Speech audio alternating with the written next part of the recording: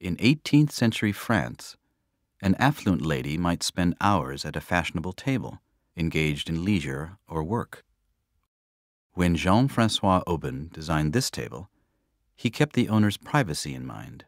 He devised hidden mechanisms to open it into a desk with the turn of a key.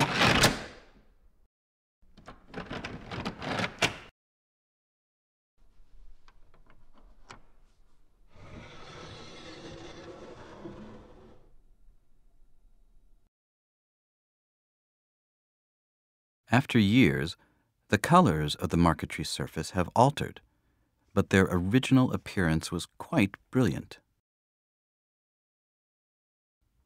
Patterns of wood veneer camouflage compartments.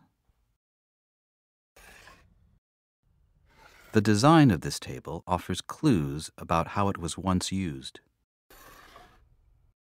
Letters could be safeguarded in a fragrant juniper wood drawer.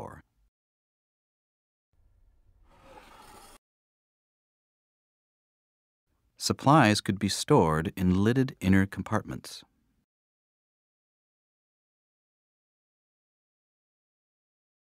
The owner could draft correspondence on a silk covered surface.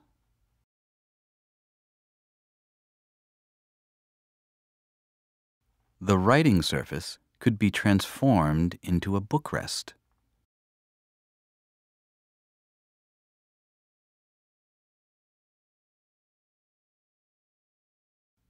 Whether the desk was open or closed, items were accessible from a side drawer.